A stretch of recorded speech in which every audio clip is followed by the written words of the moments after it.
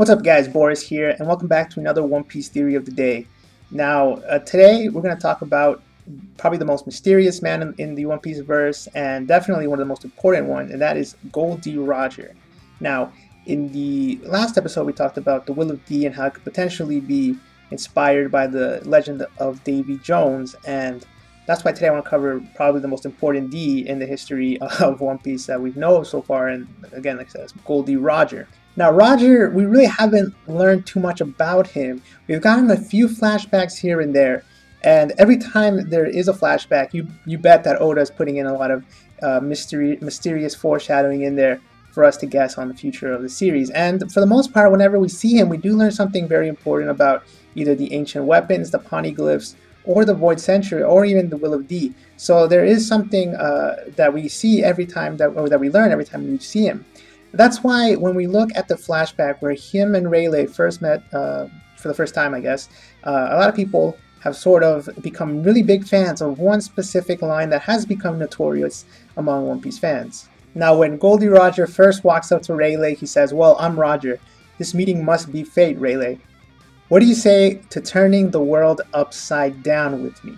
And so this is a line, like I said, that a lot of fans have latched onto and a lot of people have made a lot of videos speculating as to what this line could mean because everyone does believe that this is an important line.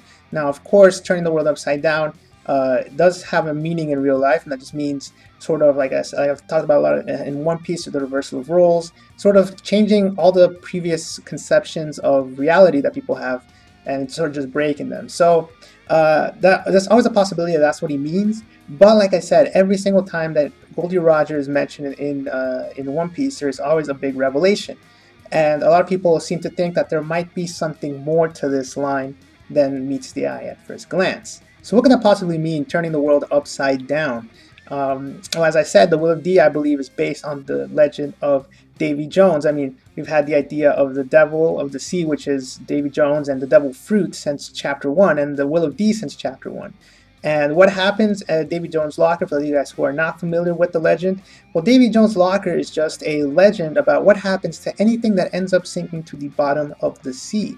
Uh, whether it's a sailor or whether it's anything that really falls down there, they end up in Davy Jones's locker, which is at the very bottom of the world. So, in turning the world upside down, that which is on top goes to the bottom, and that which is on the bottom goes to the top.